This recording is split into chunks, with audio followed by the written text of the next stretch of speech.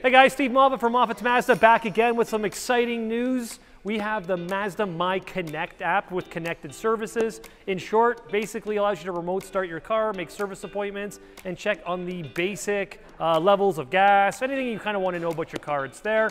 My friend Aaron Cisco here from Moffatt's Mazda, our sales manager, is going to take you guys through and show you how everything works.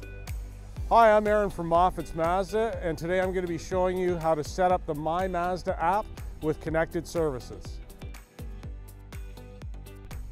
To get started with the My Mazda app, go to the App Store and search My Mazda. Once you've found My Mazda, hit download. Once the app's downloaded, open the app.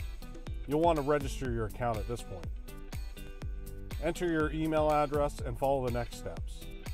Once your account's created, you'll need to log into your app. Enter your email address and password. Next, you're going to want to add your vehicle. Start by scanning your VIN. The VIN scanner can be located on the side door jamb. Scan the VIN on the door jamb.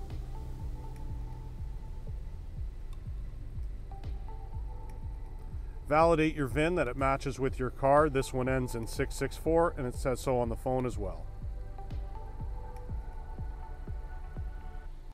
Next, select your preferred dealer.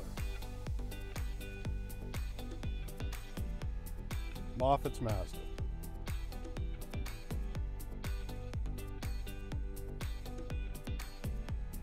Do you wish to enroll now? Yes.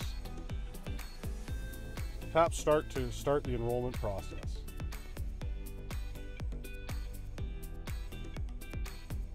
Follow the next steps. Turn the ignition on. Hit Next.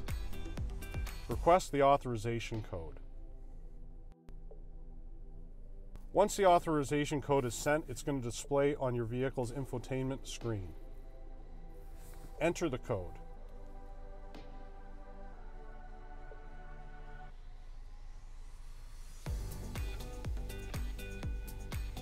Once your vehicle is connected, you will see this screen. Once you have the app downloaded and set up, you should be able to start your vehicle right from your phone.